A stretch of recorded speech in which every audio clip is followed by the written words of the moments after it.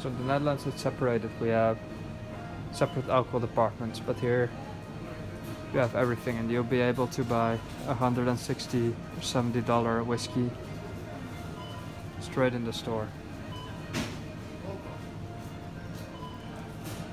All kinds of uh, gold label, green label, double black. I don't know a lot about it, but uh, I bet there are some good ones here.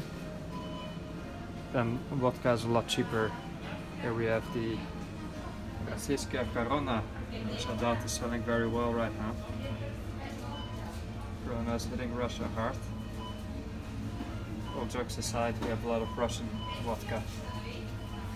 Balenskaya, you would think it's Bulgarian vodka, all of this, but it's not. Tsarskaya, these are all Russian. Finlandia, obviously from Finland. Absolut is from Sweden. And some more expensive wine, Grey Goose vodka. Polish vodka, Bison, Żubrówka. Bele Berioska, Zaloteje. I'm learning Russian, so I I really like it. These are the Bulgarian brands.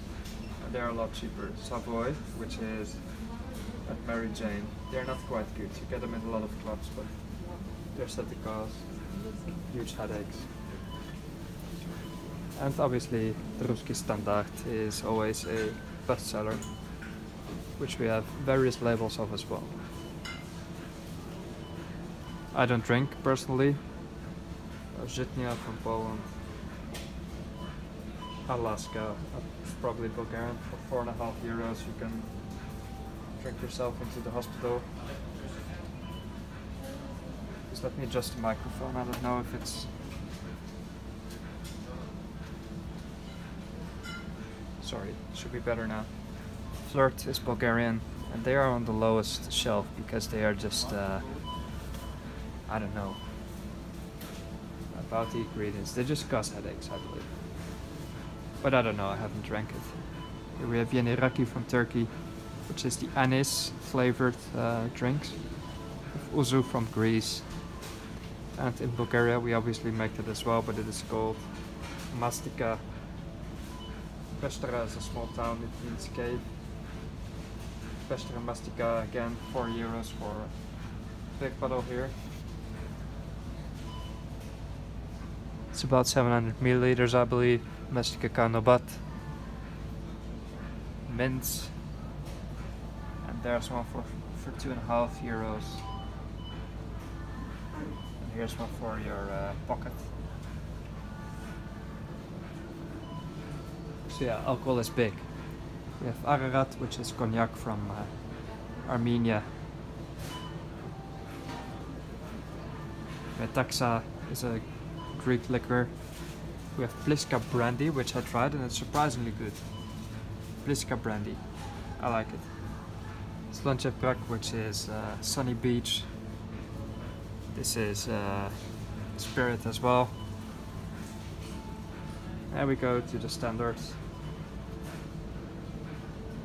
Kaluska, Rakia obviously cannot be skipped in Bulgaria. It is a brandy that is often made of grapes or plumes or even pear, uh, peaches. See, you have all kinds and Bulgaria does it very well. So in fact here you would go for the Bulgarian brands, another Russian one for example. You go Bulgarian or Serbian, and perhaps Romanian and Hungarian for Tsuika or Palinka. But here these are all Bulgarian brands. Yambolska Grozdova, which is Yambol is a city. You have Pestevska as well again.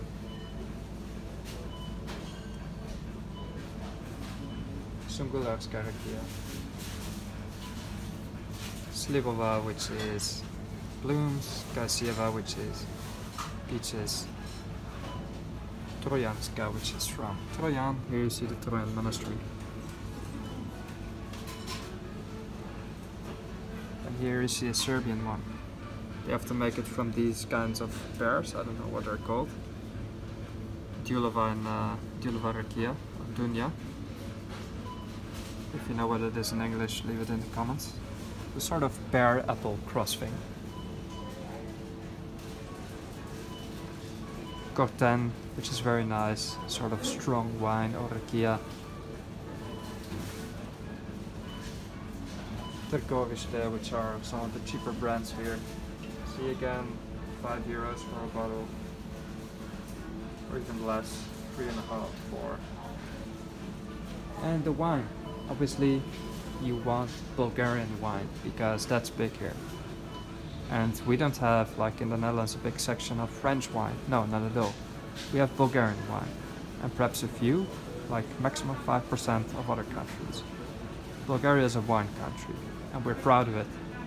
Very proud to be one of the oldest wine countries in the world. And in Europe, for sure. Probably the oldest wine country and you find cheap but surprisingly good brands as well. Târgoviște is very nice, Traminer, I like it. Costs you 3 euros. Basically you divide these prices by half and you have euros. So you have a surprisingly good bottle of wine starting from 3 euros or even less when there's a discount. Two and a half euros.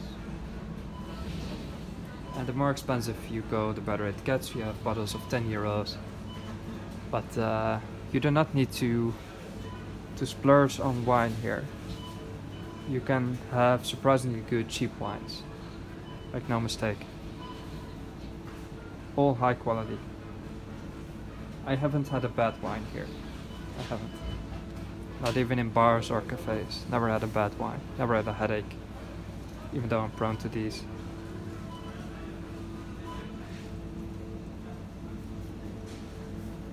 And the red ones. Here we see some from uh, Italy, Veneto, just the Venice region, northern Italy. Central Valley, Chile, Pinot Noir,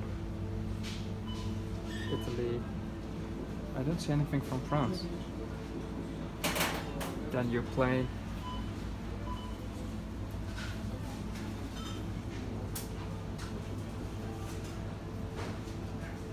Katarzyna Estate, which is near Japan. Very nice place and hotel, winery to stay at. Todorov. Look, these, these things all look really nice in Bulgarian wines. Levant, which means where the sun rises, so the eastern part of the Mediterranean. You can see that wine is big, but uh, we have the beer of Bulgarian and foreign brands, but uh,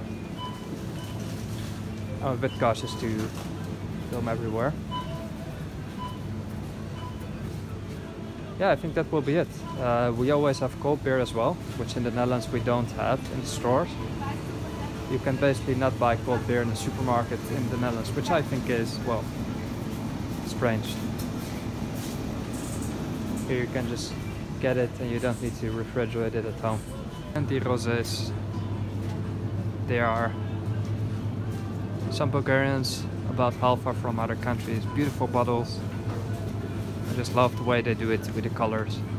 And here you have the cheeses and pasta. So you see that this store is a bit for the uh, higher segment. It's a bit more luxurious. And people really do try to uh, for themselves a good lifestyle as you can see. Either way, I think that's long enough. See you in the next video.